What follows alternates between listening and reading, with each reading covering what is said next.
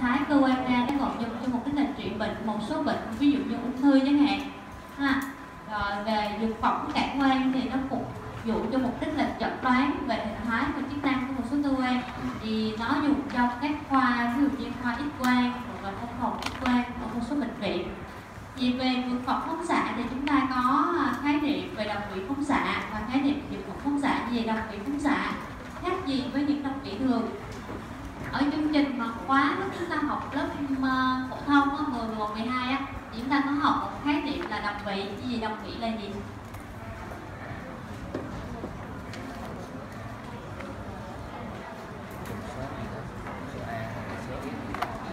Số hai số một số giống nhau đó không số A hay số Z một số Z thôi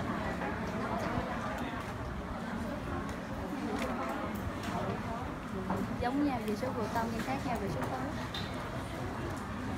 à, đồng vị là vì chúng ta phân biệt đồng vị và đồng vị phóng xạ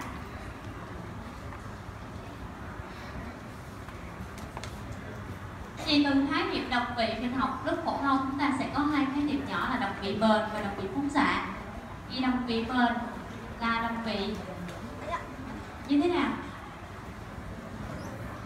Có hạt nhân bền vững theo thời gian nghĩa là theo thời gian một năm, hai năm, một tháng, hai tháng, một ngày, hai ngày, ba ngày thì chúng ta bảo quản cái đồng vị đó.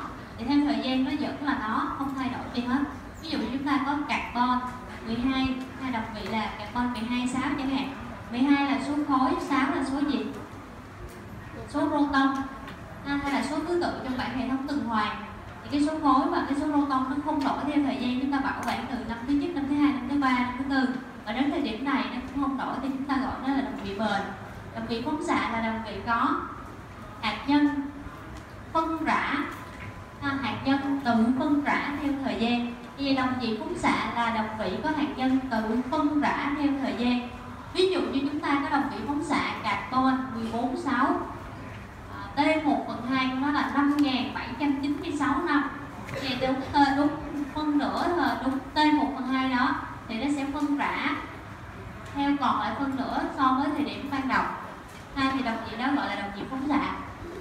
Thì cũng nhắc lại hai định nghĩa đồng vị phóng xạ. Đồng vị phóng xạ là đồng vị có hạt nhân tự phân rã theo thời gian. Ta mới xác định là tự phân rã. Ha nghĩa là tự bản thân nó phân rã không có cái gì mà kích thích vào trong đó. Nó phân rã theo thời gian. Ta gọi là đồng vị phóng xạ. Vậy chúng ta có những khái niệm sau đây. À, tia xạ. Tia xạ vậy tia xạ là gì? À, kèm theo sự phân rã của hạt nhân. À, kèm theo sự phân rã của hạt nhân. Ví dụ như chúng ta có cái chì. À, chúng ta có cái đồng vị phóng xạ là chì 238 theo thời gian nó phân rã thành một cái đồng vị phóng xạ khác cũng là chì à, 230 vậy cái 8 cái số khối 8 nó mất đi đâu? Cái số khối đó là nó chuyển thành nguyên tử của nguyên tố khác kèm theo một số cái tia xạ. Thì tia xạ đó gồm có tia alpha, tia beta, tia gamma hoặc một số trường hợp là sinh ra tia X chẳng hạn. Thì những cái tia alpha, tia beta, tia gamma chúng ta gọi là tia xạ. À, về tia xạ thì bản chất của nó là gì? Là những bức xạ phóng thích ra từ hạt nhân của đồng vị phóng xạ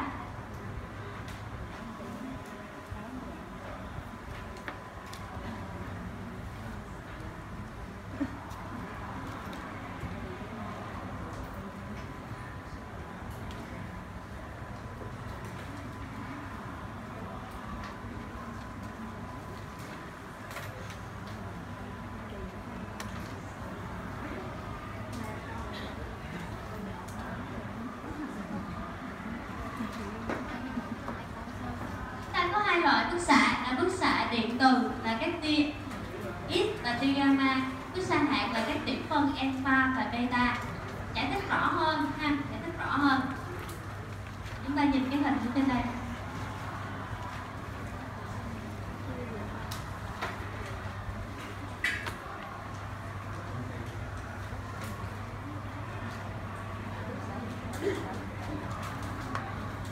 ở đây có bốn ví dụ ha với ví dụ thứ nhất thì phóng xạ ra là hạt nhân phân rã tạo ra tia xạ mới ha thì đó chính là tia alpha ví dụ tiếp theo là tia beta và đây là beta trừ ví dụ tiếp theo đó là tia beta cộng và cuối cùng là tia gamma thì chúng ta có những đồng vị phóng xạ là ớt ra 263 sau khoảng thời gian bảo quản thì nó phân hủy tạo thành đồng vị phóng xạ mới là 259 à, kèm theo một cái hạt nhân nữa là hạt nhân của heli.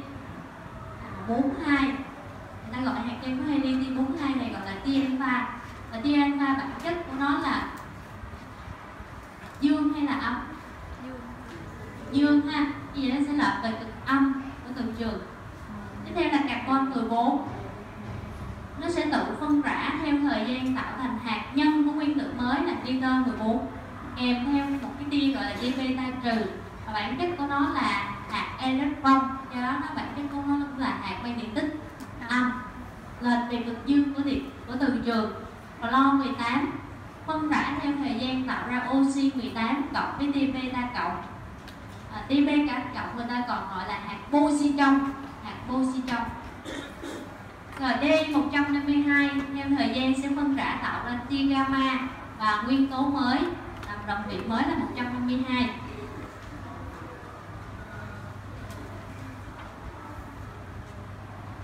ta thêm một khái niệm mới là họ các chất phóng xạ.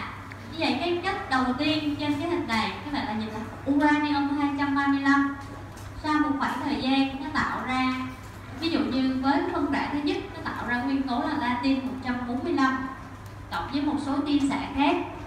Rồi thêm một khoảng thời gian khác, nó lại phóng xạ tạo ra brom là 88 cộng với một số cái tia xạ. Và tia 3 tia N10 đây là tia gì ạ?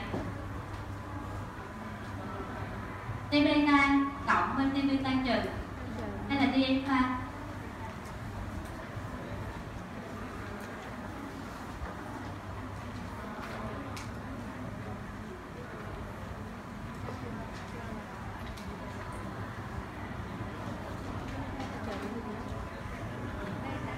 Rồi với cái hiệu N10 này là hạt gì?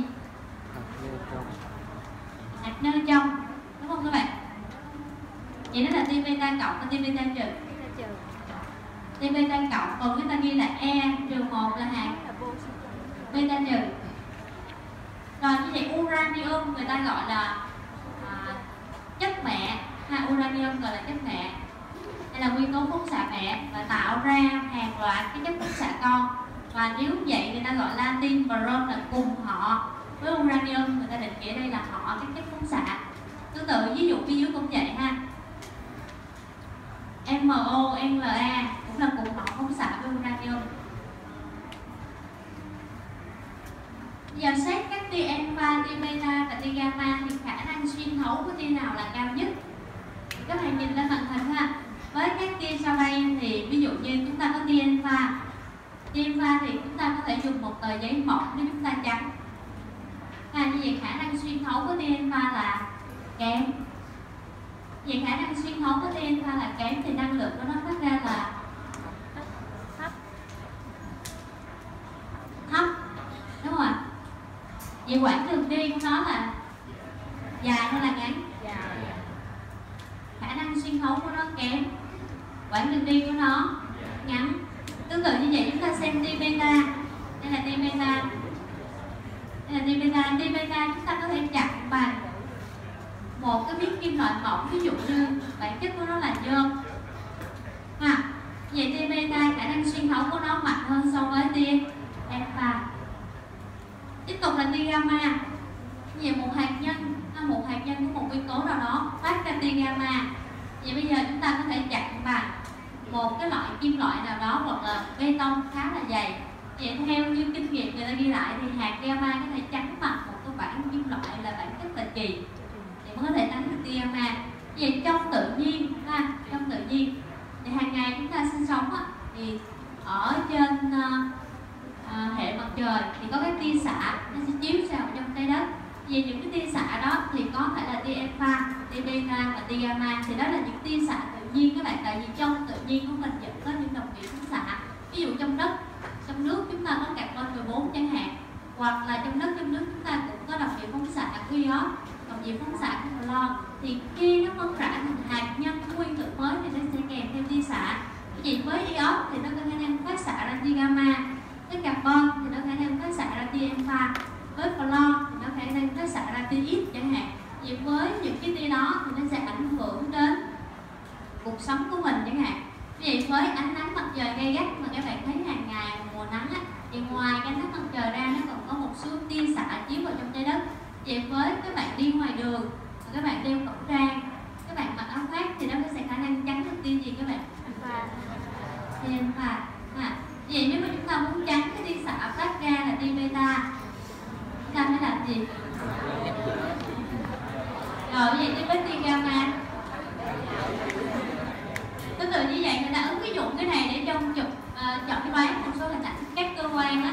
Những cái người mà nhân viên mà chụp x quang các bạn, người ta phải mặc áo thì ha, để để tránh lại tác hại của những cái tia xạ phóng ra trong quá trình đó hình ảnh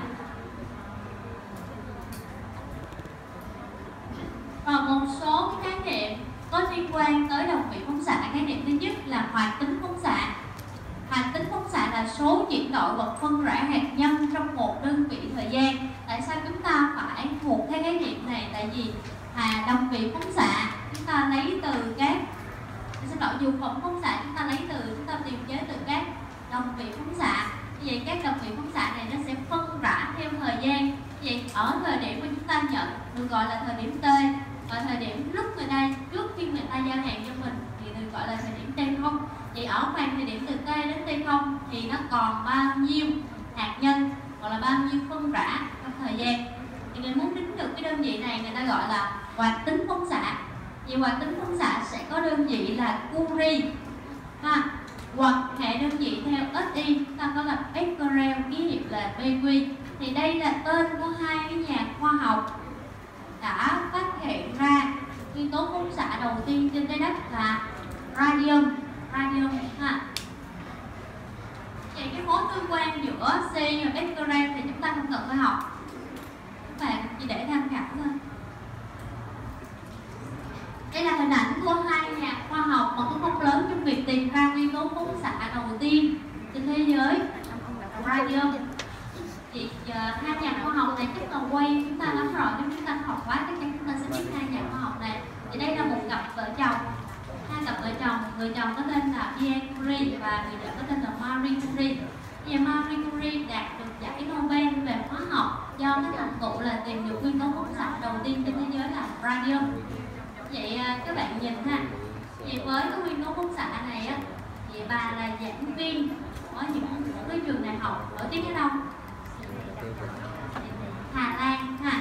Vậy khi bà đi à, đi dạy thì bà có thói quen là bà hay cho sinh viên của mình đem mẫu là cái con nguyên tố bức xạ mà bà mới vừa phát hiện ra tại cái thời gian mà đưa cho sinh viên mình xem. Thì mỗi một tối á, bà sẽ lấy từ cái giỏ của mình ra và để trên đầu giường. Khi mà tắt tất cả đèn vào buổi tối thì nguyên tố này nó phát giống như là nó phát cái, à, cái ánh sáng nhìn rất là đẹp. Thì có thói quen là mình nhìn ánh sáng nó vào buổi tối.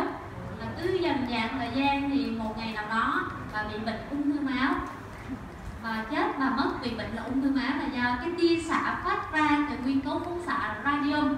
Từ từ thời điểm người ta phát hiện ra cái nguyên tố phóng xạ thì người ta không biết tác hại của nó.